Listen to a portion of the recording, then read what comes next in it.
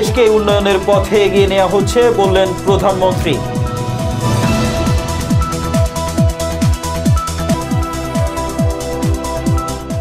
রূপপুর কাণ্ডে তদন্তে কেউ দোষী হলে ব্যবস্থা নেওয়া হবে বললেন তথ্যমন্ত্রী।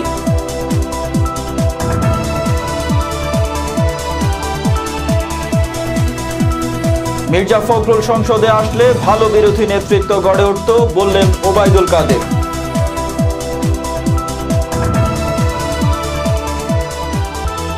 এবং সাজানো মামলায় খালেদা জিয়া কারাবন্দি বললেন রিজবি আহমেদ।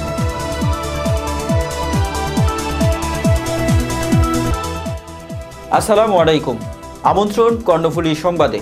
আপনাদের সাথে আছি আমি সালমান এম রহমান।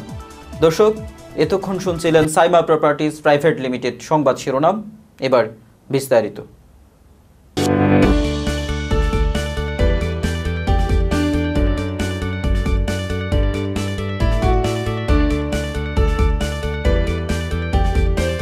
দালান নির্মাণের এক বিশ্বস্ত প্রতিষ্ঠান, সাইমা প্রপার্টিজ প্রাইভেট লিমিটেড, আপনার উপরে ওঠার সঙ্গী। আখতারুজ্জামান সেন্টারে প্রতি বছরের ন্যায় এবারও একশো এগারোটি আকর্ষণীয় পুরস্কার নিয়ে শুরু হলো মাসব্যাপী ঈদ বিক্রয় উৎসব দুহাজার উনিশ। প্রথম পুরস্কার আকর্ষণীয় মোটরসাইকেল, দ্বিতীয় পুরস্কার এলইডি টিভি, তৃতীয় পুরস্কার ফ্রিজ সহ রয়েছে একশো এগারোটি আকর্ষণীয় পুরস্কার। তাছাড়া প্রতি সপ্তাহে রয়েছে দশ হাজার টাকার বাম্পার ড্র। আখতারুজ্জামান সেন্টার, মানুষের আস্থার ঠিকানা। যোগাযোগ, বাদামতলির মোড়, একুশ বাই বাইশ, আগ্রাবাদ বাণিজ্যিক এলাকা, চট্টগ্রাম। ফোন, শূন্য এক আট এক নয়, আট তিন সাত পাঁচ শূন্য পাঁচ। দেশকে জঙ্গিবাদ মুক্ত রেখে উন্নয়নের পথে এগিয়ে নিয়ে হচ্ছে বলে জানিয়েছেন প্রধানমন্ত্রী শেখ হাসিনা।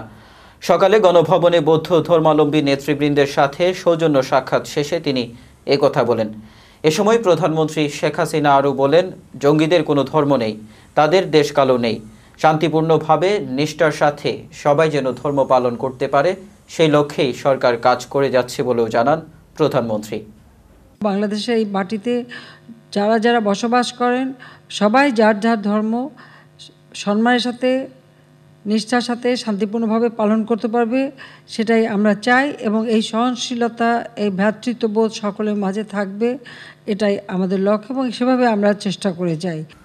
রূপপুর কাণ্ডে গঠিত তদন্ত কমিটির রিপোর্টে কেউ দোষী সাব্যস্ত হলে ব্যবস্থা নেওয়া হবে বলে জানিয়েছেন তথ্যমন্ত্রী ডক্টর হাসান মাহমুদ। সকালে সচিবালয়ে সাংবাদিকদের কথা বলেন তিনি। এ সময় বিএনপি ধার করা নেতৃত্বে চলছে বলেও মন্তব্য করেন মন্ত্রী। তিনি বলেন রূপপুরের বিষয়ে দুটি তদন্ত কমিটি গঠন করা হয়েছে। তদন্তে দোষী সাব্যস্ত হলে ব্যবস্থা গ্রহণ করা হবে। রূপপুরের বিষয়ে সেটি তদন্তাধীন দুটি তদন্ত কমিটি হয়েছে। সুতরাং তদন্ত তদন্তে কেউ দোষী সাব্যস্ত হলে নিশ্চয়ই ব্যবস্থা গ্রহণ করা হবে। বগুড়া ছয় আসনে মির্জা ফখরুলের চেয়ে ভালো কোনো বিএনপি নেতা আসবেন? এমন প্রশ্নের উত্তরে আওয়ামী লীগের সাধারণ সম্পাদক ওবায়দুল কাদের বলেছেন বিএনপি মহাসচিবের সংসদে যাওয়া উচিত ছিল। সকালে রাজধানীর বনানীতে সেতু ভবনে সাংবাদিকদের সাথে মতবিনিময়ে তিনি এ মন্তব্য করেন।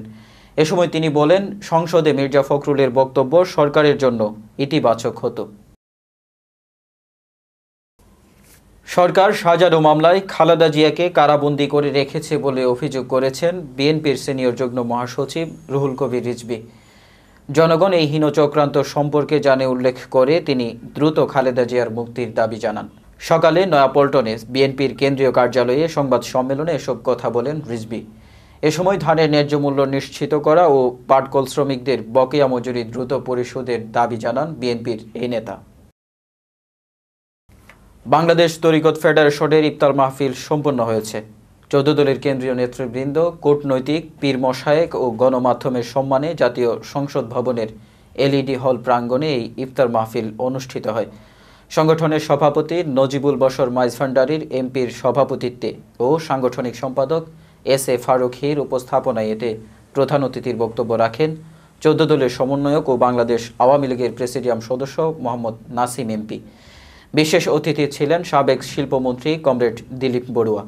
তরিকট ফেডারেশনের মহাসচিব ডক্টর রেজাউল হক চাঁদপুরি, গণতন্ত্রী পার্টির সাধারণ সম্পাদক ডক্টর শাহাদত হোসেন বাংলাদেশ গণ আজাদী লীগের সভাপতি অ্যাডভোকেট এস কে শিকদার, মহাসচিব মোহাম্মদ আতাউল্লাহ খান, বাংলাদেশ জাসদের সাধারণ সম্পাদক ও সাবেক এমপি নাজমুল হক প্রধান নেপের ভারপ্রাপ্ত সাধারণ সম্পাদক ইসমাইল হোসেন, জেপির প্রেসিডিয়াম সদস্য এজাজ আহমেদ মুক্তা, বাসদের আহ্বায়ক রেজাউর রশিদ খান সহ তরিকত ফেডারেশন ও চোদ্দ দলের কেন্দ্রীয় নেতৃবৃন্দ।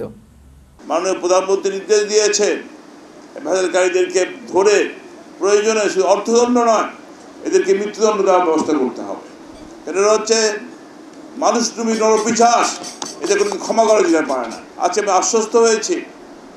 মাননীয় অর্থমন্ত্রী বলেছেন যে আমরা প্রয়োজনে ভর্তুকি দিয়ে হলো ধান চাষিকে রক্ষা করব, প্রয়োজনে ধান রপ্তানি, বিদেশি চাল রপ্তানি করে হলো ধান চাষিকে আমরা ন্যায্য মূল্য নিশ্চিত করব। এই জন্য ধন্যবাদ জানাই অর্থমন্ত্রীকে। দেশ সঠিক পথে এগোচ্ছে। জননেত্রী শেখ হাসিনার নেতৃত্বে উন্নয়নের রোল মডেলে পরিণত হয়েছে। তিনি জিরো টলারেন্স ঘোষণা করেছেন জঙ্গিবাদ, মাদক এবং দুর্নীতিকে। আমরা চাইব উনি এই দিকে সফল হন। তেইশে মে বুথ ফেরত জরিপ মিথ্যা প্রমাণিত হবে। কংগ্রেস সহ ইউপিএ জোটের বাকি শরিকদের দাবি ক্ষমতাসীনদের জন্য অপেক্ষা করছে সবচেয়ে বড় বিষয়। সপ্তদশ লোকসভা নির্বাচনের ভোট গ্রহণ শেষে রোববার প্রায় সব বুথ ফেরত জরিপের আভাস। বিজেপির আসন কিছুটা কমলেও আবারও সরকার গঠন করবে এনডিএ জোট।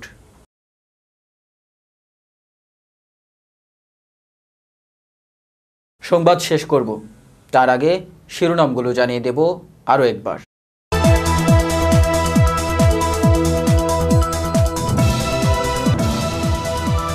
দেশকে উন্নয়নের পথে এগিয়ে নেওয়া হচ্ছে বললেন প্রধানমন্ত্রী।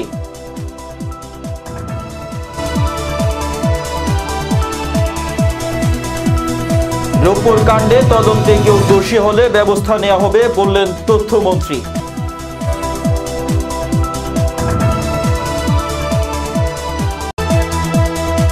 মির্জা ফখরুল সংসদে আসলে ভালো বিরোধী নেতৃত্ব গড়ে উঠত বললেন ওবায়দুল কাদের।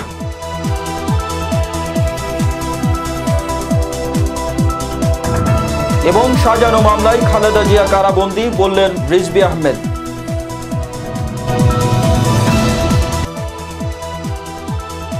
দর্শক, এ ছিল এখনকার সংবাদ। সঙ্গে থাকার জন্য ধন্যবাদ।